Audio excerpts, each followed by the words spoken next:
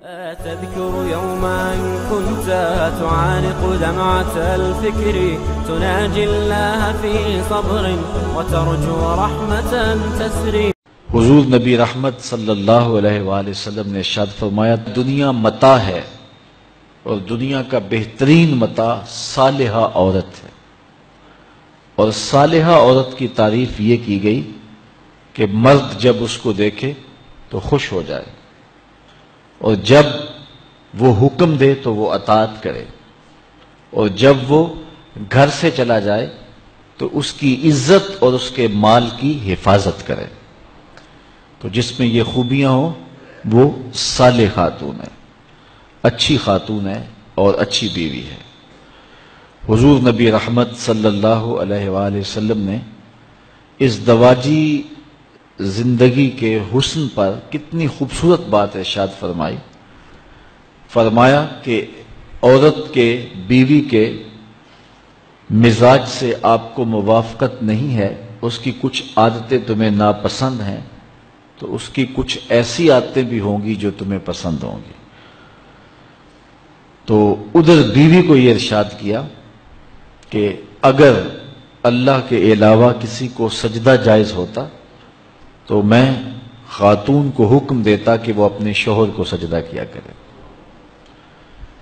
اگر خاتون اس کو مد نظر رکھے تو شوہر کو شکایت پیدا نہیں ہو سکتی۔ اور اگر شوہر اس حدیث کو مد نظر رکھے کہ اس کی کچھ عادتیں مجھے ناپسند ہیں تو کچھ عادتیں ایسی بھی ہیں جو مجھے پسند ہیں۔ یہ ماں باپ کا گھر چھوڑ کے آئی ہے، میرے لیے وطن چھوڑا ہے، اپنا آبائی گھر چھوڑا ہے۔ بہن بھائیوں کو چھوڑ کے میرے لیے وقف ہو گئی ہے۔ تو یہ چیزیں یقیناً مرد کے لیے، اس عورت کی محبت کو پیدا کرنے کے لیے کافی ہیں۔ طلاق اگرچہ مرد کا شرع حق ہے، اور اگر نباہ نہ ہوتا ہو تو طلاق دینا ناگزیر ہو جائے تو طلاق دینا ہی پڑتا ہے۔ لیکن اس کے باوجود اگر کوئی شخص اپنی بیوی کو برداشت کرتا رہے تو قیامت کے دن رب کی رحمتوں کا حقدار ہوگا۔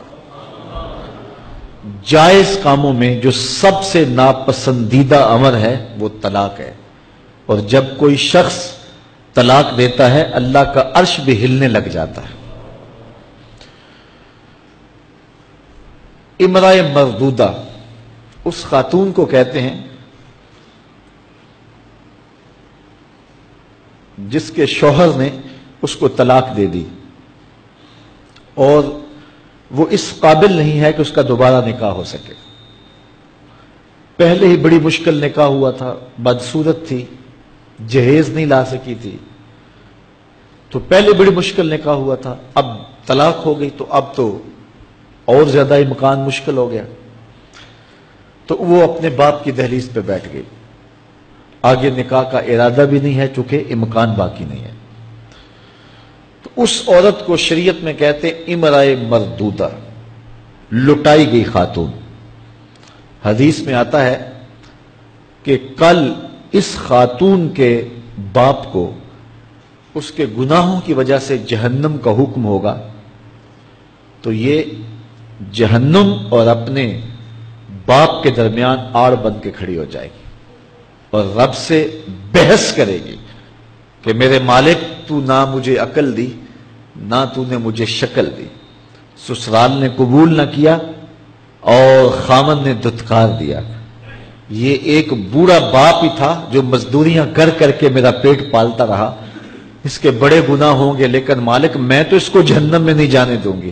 اللہ سے لڑائی کرے گی، بحث کرے گی، اللہ اکبر الجھاؤ پیدا کر دے گی، حدیث میں آتا ہے، اللہ اس خاتون کی سفارش مان کے اس کے بوڑھے باپ کو جنت عطا فرما دے اور آج اندازہ نہیں ہے ہم کو کہ جس کی بیٹیاں گھر کی دہلیز پہ جوان اس کی زندگی کتنی کٹھن گزر رہی ہے۔ کوٹھے تے چڑھ ویخ فریدا تے کر کر بلدی اگ۔ میں جاتا دل دکھی میرا، پر دکھی سارا جگ۔ تو پورا معاشرہ اس وقت اس اذیت سے، اس کڑن سے گزر رہا ہے کہ بیٹیاں جوان ہیں اور رشتے نہیں مل رہے۔ اور پھر اگر رشتے مل رہے ہیں تو بیٹے والوں کے نخرے ہی بڑے عجیب ہیں۔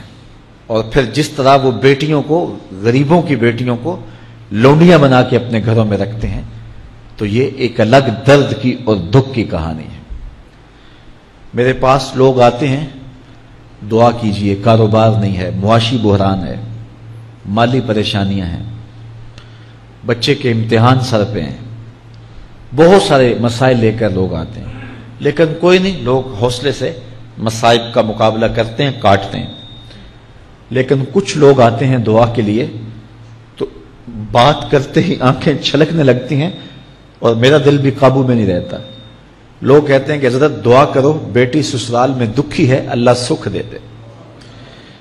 تو میں دعا بھی کرتا ہوں، لیکن میں تنہائی میں جا کے روتا ہوں کہ اس اس درد کا مداوع کیا ہے، اس دکھ کا علاج کیا ہے۔ اور معاشرہ تیزی سے اس تکلیف کی طرف بڑھ رہا ہے۔ اور طلاق کی شرح بھی جو ہے، وہ بڑھتی چلی جا رہی ہے۔ میرے پاس ایک دن ایک صاحب آئے، ساتھ ان کی بیوی تھی۔ اور میں انہیں جانتا ہوں عزت دار لوگ تھے۔ تو انہوں نے کہا کہ ہم آپ سے کوئی تنہائی میں بات کرنا چاہتے ہیں۔ تو ان کے اپنے عزیز تھے بیٹیاں، اس شخص کی زیادہ ہیں۔ اپنے عزیزوں میں شادی کر دی، تو اس وقت انہوں نے طے کر لیا کہ کوئی بات نہیں، ہم جہیز نہیں لیتے۔ لیکن وہ باپ بلک بلک کے مجھے کہہ رہا تھا کہ کتنے دنوں سے میری بیٹی گھر آ کے بیٹھی ہوئی ہے۔ اور وہ کہتے ہیں کہ اتنی دیر واپس نہ آنا جب تک تیرا جہیز پورا نہیں ہو جائے گا۔ میں کہتا ہوں کتنا صفاق معاشرہ ہو گیا ہے اور کتنے کٹھن حالات ہو گئے ہیں۔ تو جب معاشرہ اس کیفیت میں چلے جائے تو پھر انارکی پھیلتی ہے اور معاشرے پھر قائم نہیں رہتے۔ تو کتنی باپ کی دہلیز پر بوڑھی ہونے والی بیٹیاں، ان کی سسکیاں، ان کی آہیں اور ان کی چیخیں اس معاشرے کو بے چین کی ہوئی ہیں۔ تو امیر لوگوں کی ذمہ داری ہے کہ وہ غریبوں کے دکھ بانٹ لیں۔ اللہ تعالیٰ ارشاد فرماتا ہے کہ فکو رقبہ او اطعام فی یوم ذی مسغبہ۔ کسی پھنسے ہوئے کی گردن چھڑانا یہ بڑی